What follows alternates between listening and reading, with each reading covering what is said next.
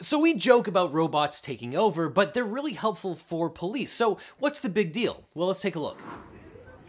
And there is the robot. That looks like your classic Boston Dynamics robot. I've never seen nothing like this before in my life. Yeah, me neither. I've never seen that either. Oh, that's work better than a dog. Somehow it doesn't look as cute when it's dressed up as a police officer in police livery, and this raises all kinds of Fourth Amendment issues. According to the Supreme Court in Terry versus Ohio, the police are allowed to detain and search people if there is a reasonable suspicion. But what does that mean in the context of robots, who might have sensors that are far more sensitive than humans? Uh, they might be just patrolling around. Does that give them the ability to stop people just using a remote-controlled robot? Uh, does it infringe on constitutional liberty?